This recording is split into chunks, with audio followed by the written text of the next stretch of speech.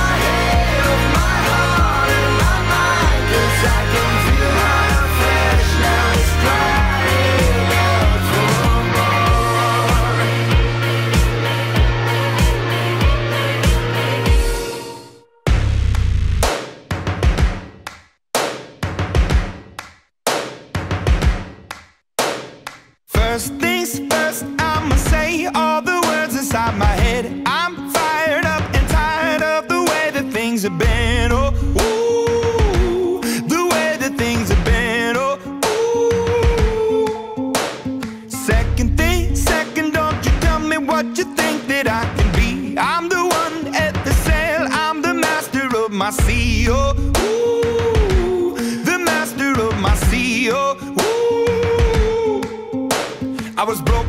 from a young age, taking my soak into the masses, writing my poems for the few that look at me, took to me, shook at me, feeling me, singing from heartache, from the pain, taking my message from the veins, speaking my lesson from the brain, seeing the beauty through the